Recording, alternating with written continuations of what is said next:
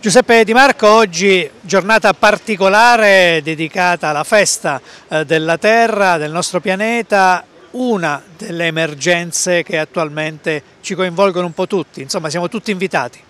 Sì, l'appello diciamo, di questa edizione è che la Festa della Terra deve diventare un appuntamento per far sì che ciascuno di noi dia il suo contributo per investire sul futuro del nostro, del nostro pianeta. Ovviamente questo ha un'importanza ancora più forte alla luce della triplice emergenza che stiamo vivendo, quella climatica, pandemica e oggi minacciata anche dalla crisi bellica. E la stessa sostenibilità, eh, lo stesso futuro delle nostre generazioni che viene messo drammaticamente in pericolo, dobbiamo tutti contribuire ad uscire da questa eh, negatività e mettere in campo azioni che ovviamente portino alla salvaguardia del nostro pianeta e anche a risolvere i conflitti diciamo, bellici che sono in corso perché senza giustizia sociale non ci potrà essere nessuna giustizia ambientale. Ricordiamo anche che la nostra regione, l'Abruzzo, regione verde, tante aree protette, eh, tanti spazi verdi che oggi magari è possibile anche visitare.